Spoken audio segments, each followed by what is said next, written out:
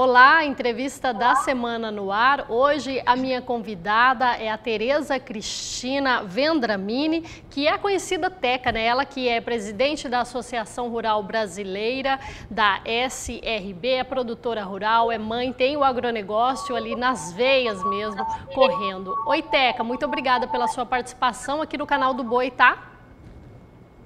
Obrigada, obrigada, canal do Boi mais uma vez a oportunidade aí de estar com vocês. Eu sei da audiência que vocês têm aí nesse Brasil todo. É muito especial estar aqui hoje com vocês e, e falando um pouco, representando a Sociedade Rural Brasileira, que é uma entidade que esse ano está fazendo 101 anos. É uma honra para mim hoje ser uma, é a pessoa que está presidindo essa entidade. Teca, e a primeira, você é a primeira mulher, né, a presidir a Sociedade Rural Brasileira. Uma honra para a gente, né, um grande exemplo. Sim, é, é, isso daí é, eu falo bastante e está sendo uma coisa muito importante aí para todas as mulheres do agro, né, elas me escrevem muito, eu sou uma delas, adoro falar isso, pontuar, me escrevem, a gente comemorou muito isso, mas tem uma coisa que eu tenho falado em relação a isso, está sendo muito importante, sabe? Eu ser essa presidente na Sociedade Rural Brasileira, está sendo muito importante a gente ter uma ministra da Agricultura, né? Como a gente tem, que é a nossa ministra Tereza Cristina, que é uma pessoa extremamente competente, uma mulher, né? Muito competente, inteligente. E outra coisa que eu gosto de falar muito dela é equilibrada, né? Então eu acho que a gente tem, as mulheres do agronegócio, elas têm muito o que comemorar com isso. Mas tomara que no futuro próximo a gente não precise comemorar tanto, que isso seja é, normal na nossa vida. É isso que eu gosto de falar. Tomara que, que daqui uns, um tempo, né, um futuro mais assim, bem próximo da gente, isso seja normal. A gente já falou, que bom, mas não precisa ser tão enfático como a gente está comemorando essas conquistas. Oteca, e olha só, recentemente você assumiu também a presidência da FARM, né, que é a Federação das Associações Rurais do Mercosul, né? Eu sei que está recente ainda, né, em primeira mão aqui no canal do Boi, você falando com a gente, mas eu quero saber já quais são as suas expectativas aí nessa presidência também. Olha, é, foi uma, uma, surpresa agradabilíssima, né? Eu, eu ter sido eleita presidente da FARM, e, e, faz dias, né, como eu falei para você, faz poucos dias aí que houve essa eleição e foi agora, no final de agosto. E a FARM, ela é composta, né, a sede é no Uruguai, ela é composta por 10 entidades representativas aí do setor agropecuário, que são do, de seis países aí do Mercosul, que é o Brasil, a Argentina, a Bolívia, o Chile, o Paraguai e o Uruguai. E, e, assim, nessa nossa chapa, né, que eu fui eleita, é, eu tenho os diretores que vão ser do Uruguai né, e da Argentina, e do, e do Paraguai também.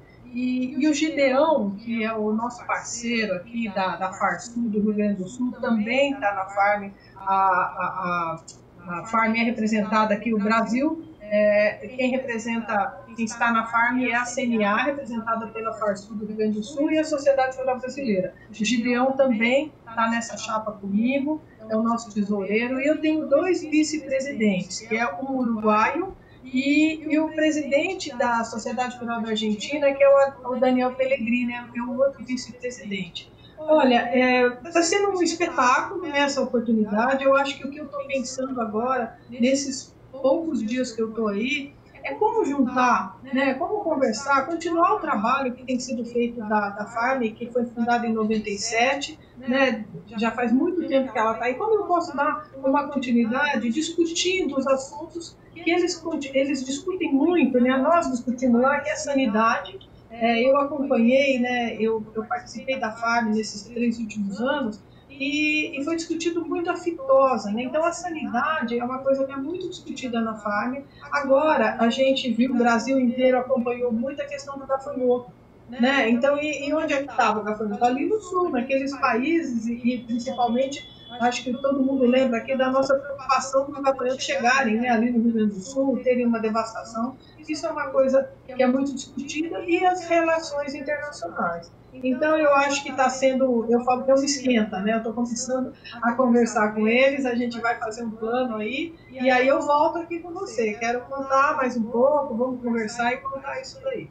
Ótimo, Teca. Ô, Teca, eu quero agora que você fale um pouquinho da relação é, que você tem com os jovens, né? A gente sabe que os jovens gostam muito de você e você fica bem à vontade, né, com eles, com as mulheres, né? E eu quero saber como que é essa, essa sua atuação com os jovens. A gente acompanha você e você sempre chama os jovens para tomar um cafezinho com você, sempre está à disposição, né? O que eu acho muito bacana. E aí conta pra gente um pouquinho da sua atuação aí, como que está sendo com é, essa classe do pessoal.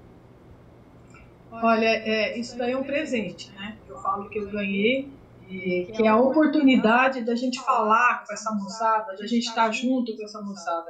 E assim, antes de eu ser eleita presidente, eu fui diretora de pecuária da Sociedade Rural Brasileira por três anos e trabalhei bastante, fiz muita coisa aí no Brasil. E uma das coisas que acontecia era eu, eu ter convite de palestra em universidade, sabe? Então eu fui à Universidade Federal do Paraná, Universidade, fui em Viçosa, em várias aí, e chamadas assim para os jovens, né? Eles queriam escutar uma mulher que era diretora de pecuária, e então a gente sempre teve essa conexão. E eu não, não recusei um convite desse, que eu adoro. Eu falo que eu estando no meio dessa moçada é, é, uma coisa tão revigorante, é uma coisa tão, né, para mim e eu acho que para eles também. Com é uma certeza. troca muito grande. E, e, eu tive uma, uma surpresa agradável que agora na Rural, né, a gente no ano passado nós temos um comitê que chama Liderança e Juventude e a gente chama de Rural Jovem. E esse comitê é, ele estava com 260 jovens ali no final do ano. Hoje, até vou te dar um número, porque ontem a gente estava organizando isso, nós estamos já. Eu falo nós porque eu estou ali no meio deles, né? Que eu também acho que eu tenho que organizar junto com eles. Nós estamos em 415 já. E eu tenho uma coisa bacana que eu acredito que é um negócio disruptivo, que é muito importante. É, a Sociedade Rural Brasileira vai fazer uma eleição né? Nós vamos escolher um presidente, Olha, um que bacana. presidente, os diretores dessa Rural Jovem. Né? Ontem eu assinei esse edital, que foi lançado ontem, hoje ele vai estar aí no Brasil, convocando para as eleições, que vão ser 30 de novembro. Então, qualquer jovem desse Brasil que quiser entrar em contato com a sociedade rural brasileira, para estar junto com a gente e de alguma maneira participar disso, vai ser muito bem-vindo. Nós já temos duas chapas inscritas, é, inscritas nesse processo, estamos esperando mais. Vamos ter uma votação uma parte vai ser online e a outra vai ser presencial na rural. E eu agradeço até a sua oportunidade de poder fazer um convite aí para esse Brasil inteiro, para essa moçada vir e vir com a gente, que a gente vai discutir muita coisa aí. Ah, com certeza, bacana, né, Teca? Os jovens devem é, já estar tá sabendo dessa informação muito positiva. Teca, e agora vamos mudar um pouquinho do assunto, né, para falar da pandemia. Não tem como não falar desse momento atual aí que o mundo inteiro está passando, né? Teca, o agronegócio tem segurado é, o PIB brasileiro, né? A arroba do boi está valorizada e eu quero saber a sua opinião sobre este momento atual as perspectivas para o futuro pós-pandemia, tá, de repente, né? O que, que você tem para comentar com a gente aí, para dividir essa informação? Olha, eu acho que primeiro você falou uma coisa assim muito importante, né? Você falou das perspectivas para o Brasil, né? Que eu falo que a gente tem ótimos cenários, não são nem bons cenários, são ótimos, né? É, mas a gente também está nesse momento de pandemia, né? São, é uma, essa dualidade que a gente está vivendo. E quando você fala aí, né, você falou de, de grandes números, eu cito muito é, o, o, número em grãos né, de 250 milhões né, de toneladas de grãos, é uma safra recorde né, que a gente está vivendo. Aí o Brasil inteiro sabe né, o preço da roupa, como a gente teve aí, né, é, um crescimento muito grande. Outra coisa que eu acho muito importante nesses bons cenários, que eu até acredito como uma das coisas mais assim que são impactantes, é as exportações fortes. Né? Então a gente aumentou muito o número de países que a gente exporta e o número de produtos enviados aí, né, do Brasil. Isso é um trabalho, como eu, mais uma vez vou falar da nossa ministra, é um trabalho da ministra Tereza Cristina, que, que sabe, que batalhou muito nisso, e isso daí está tá acontecendo. Isso aí o produtor rural, nossa senhora, ele já tem uma segurança hoje que a produção dele vai ser escoada, vai ser bem vendida. Sim. Então, realmente, a gente está com uma coisa muito positiva. Outra coisa que eu gosto muito de pautar desse momento, né, desse bons cenários. Gente, emprego. Né? O, o agronegócio ele emprega, hoje em dia, acho que é mais de um terço da mão de obra brasileira. E a gente sabe também né, que, que a gente teve assim, uma perda, acho que uma perda imensa de empregos nesse primeiro semestre, e o agronegócio foi o único que contratou. Né? E a gente tem um número aí exponencial muito grande de, de, de contratações, de abertura de frente de trabalho aí no agro. E você tem razão, tudo isso está acontecendo, só que a gente está no momento que nós não podemos esquecer, que eu gosto muito de falar que a gente tem que estar tá é, lembrando sempre que a gente não passou, né? Acho que a gente se acostumou com essa situação que está aqui, mas a gente não passou. O coronavírus está aí. E eu vejo, assim, o que, que, o coronavírus mostrou, né? É uma, uma preocupação muito grande, eu acho que ele, ele mostrou a fragilidade da vida, que a gente antes não pensava tanto nisso. Né? O, o mundo, as pessoas em geral, a gente está vivendo de uma maneira tão que essa, né, essa, essas épocas modernas nos levando a caminhar, que a gente não pensava nisso. Né? Outra coisa, a importância da saúde. Né? E, e, junto com a importância da saúde humana, eu acho que esse momento ele trouxe para a gente, que tem muito a ver com o agronegócio, a importância da sanidade humana e animal.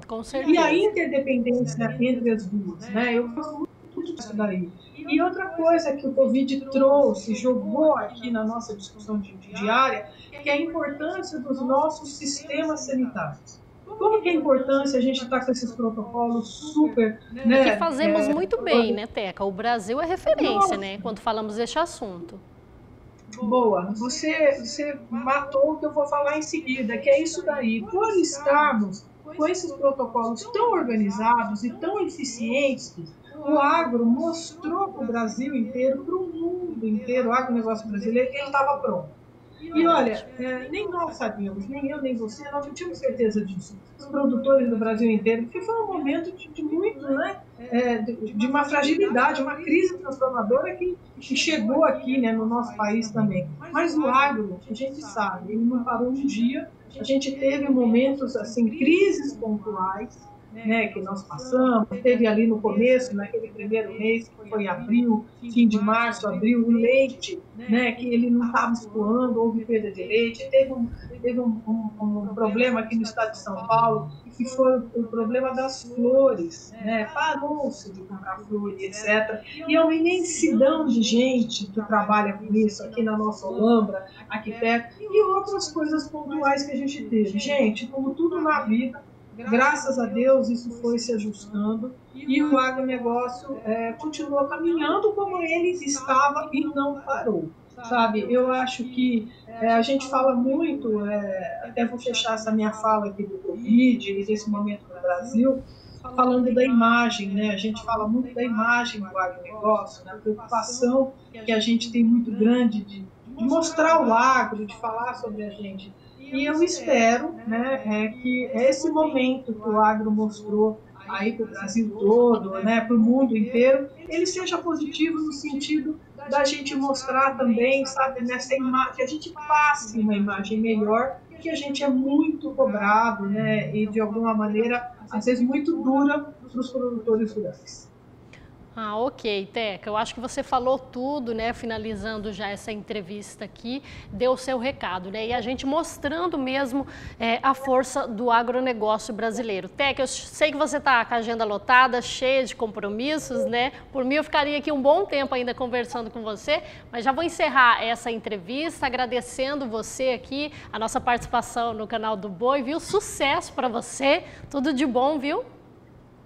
Obrigado, querida. Olha, eu agradeço mais uma vez meu parceiro aí, que é o canal do Boi. Contem comigo, só chamar que nós vamos conversar. E um abraço aí para todos os produtores do Brasil. Vamos continuar trabalhando. Obrigada. Ok, então, muito obrigada, viu, Teca? Sucesso. Para vocês que acompanham essa entrevista, deixo aqui é, o recado para vocês acessar o nosso portal sba1.com, notícias relevantes do setor do agronegócio. Até a próxima! Thank you.